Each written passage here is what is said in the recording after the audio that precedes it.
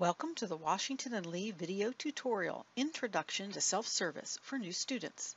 This tutorial will cover the basic features of self-service and demonstrate how you will use it to view your academic record, including any credit you may have received for external work. Go to the self-service website by entering go.wlu.edu forward slash self-service, but you can also find these links on the registrar's webpage and the W&L webpage here under quick links, and we'll click on self-service to take us there.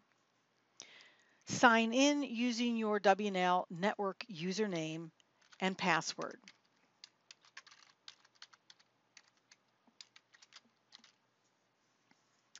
The self-service homepage gives you options for student planning and grades. In the grades screen, you'll be able to view your course grades by term. The University Registrar's Office sends a broadcast email to your W&L address when midterm and final grades are posted each term. The student planning screen opens with your current term schedule although you don't have one yet, and links for getting started when planning courses for future terms. Hover over the menu drop-down box to see additional functions within student planning. The test summary link takes you to any external test scores already processed on your record. If your College Board AP scores or International Baccalaureate results were high enough, you will see either W&L course credit or a prerequisite course listed. During orientation, W&L placement test results will be posted up here.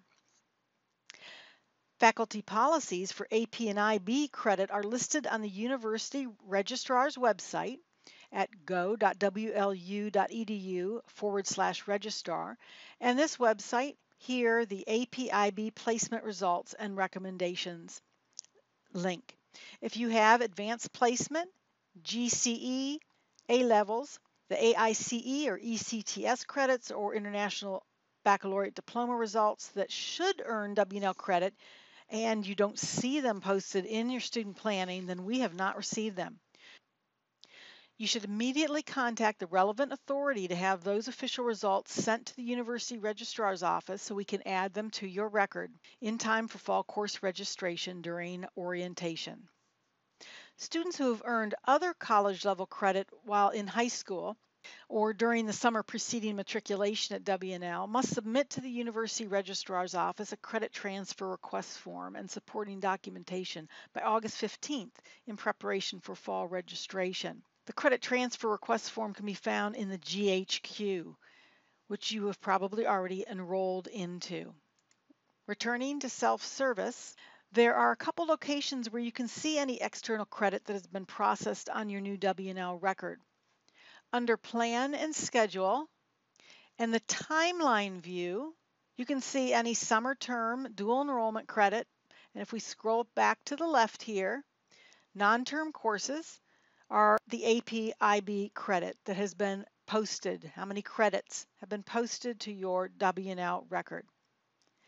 The academic course history link is a PDF list of all W&L credit earned to date.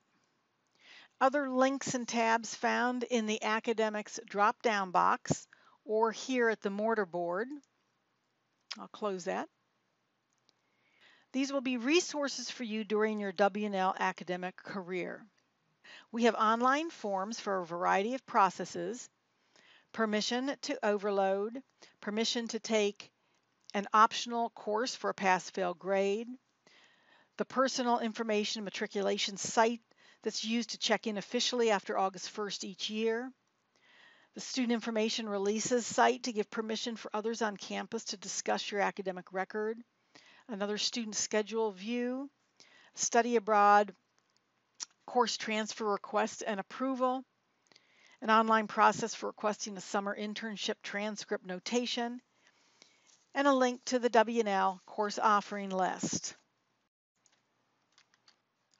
Additional student planning tabs and links include My Progress, Course Catalog, the Plan and Schedule view, and advising and petitions and waivers tabs. And all of this will be explained in a separate video and email. You don't register for fall courses until orientation, so we will explain how to prepare for that in a mid-August email. This concludes the Introduction to Self-Service tutorial. For additional information, see the Student Planning Training website at go.wlu.edu slash studentplanninginfo. Thank you.